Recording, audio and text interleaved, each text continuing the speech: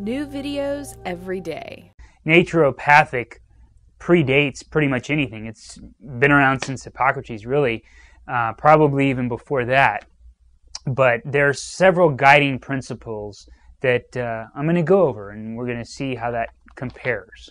I'm not a naturopathic physician. However, a lot of what a nutritionist uh, works with comes from naturopathic ideas.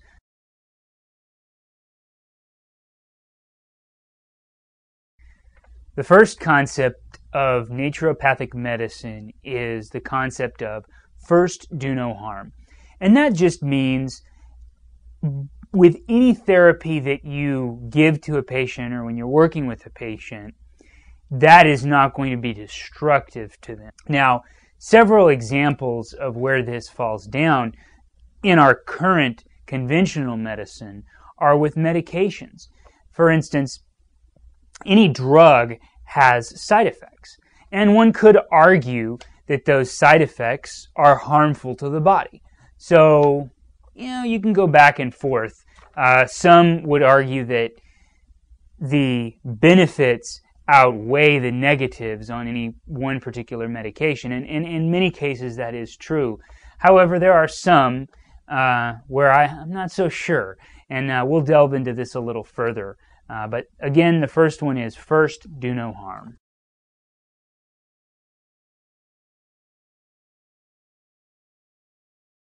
The next one is the healing power of nature. The truth is, your body heals itself. Now, in certain situations, medicine can make a person more comfortable, which then will allow their body to heal itself. When a person has pain and they are in pain management, they're taking drugs in order to numb out the pain. Those drugs are not actually healing the pain. They're making the body not be able to feel it or sense it. Another example of this is proton pump inhibitors. What that is, Prilosec, things like that that stop acid production or prohibit acid production in the stomach. They're not actually addressing what is making the body overproduce acid. They're just stopping the body from doing it. Another example of this is antidepressants or antipsychotics. Uh, the most popular argument for this is a chemical imbalance. Question I have for you is what caused that chemical imbalance? Could it be that there's some nutritional factor the person doesn't have, which is making this chemical imbalance happen? Or even more interesting than that is what if the person's not exercising? They're sitting down and they're not producing the endorphins necessary to, you know, make the chemical happen right. You would not want to take Prozac if it's a lack of exercise. That's not going to fix the problem. Only exercise would in that case. So remember, natural things have the ability to handle what's naturally broken.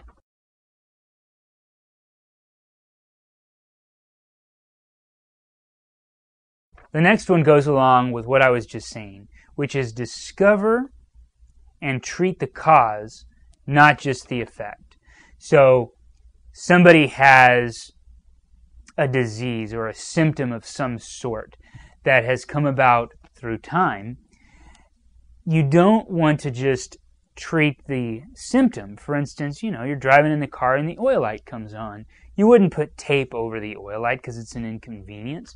No, you'd figure out why the car's leaking oil. So, same thing is true in the body. If you have diabetes or you know some symptom of blood sugar imbalance, you want to find out why that's the case. Are you eating a food style that doesn't allow your blood sugar to be balanced throughout the day, making insulin overproduce and then your cells get used to that so then they won't function correctly? Unfortunately, that's what gets a person to diabetes. There's one research study that showed that if you have one Coke a day, uh, you have an 85% chance of getting diabetes.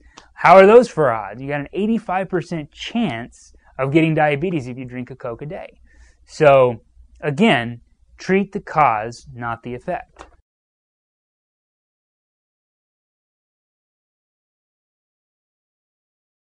The next one is very interesting to me, and in, in any alternative medicine, this is true, and that is treat the whole person. Uh, when you go into a medical doctor, a lot of times you're going because you've got a specific symptom that's presenting itself cold, flu, whatever it is. It means that prevention has failed. You didn't do the things necessary to stop that from affecting your body. And in treating the whole person, what you would do is look at what lifestyle led to having this issue. If you're sick, you know, year round, obviously prevention has failed. You would need to look at lifestyle changes, exercise patterns, diet, nutritional factors, all of these things that go into creating whatever health issue a person has. So, when going to conventional medicine and just taking a specific drug for a specific problem that's presenting it right there, you're not treating the whole person. You're working on a specific symptom, which is part of a bigger picture. So it's very important to treat the whole person.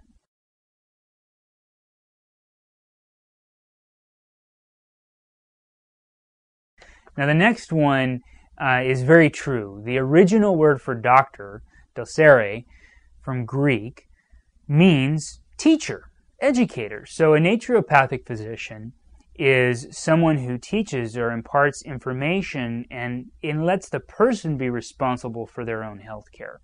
Uh, in medicine, unfortunately, a lot of times it's become easier uh, for somebody to just go into a doctor's office.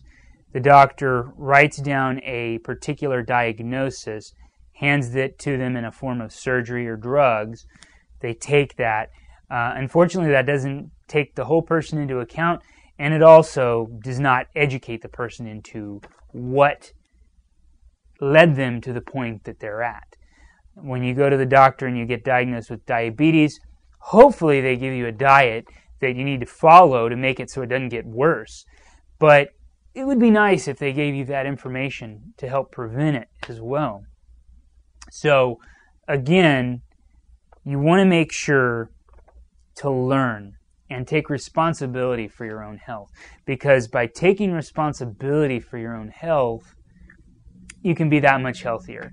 And unfortunately, by letting it just be diagnosis, take this drug, you know, you're not really taking responsibility for your own health care. Uh, you're letting the doctor do that, which unfortunately you're getting drugs or medicine, which we talked about at the beginning, uh, isn't what handles your body or isn't what fixes your body it can prevent it from doing a specific thing, but it's not going to fix it long term.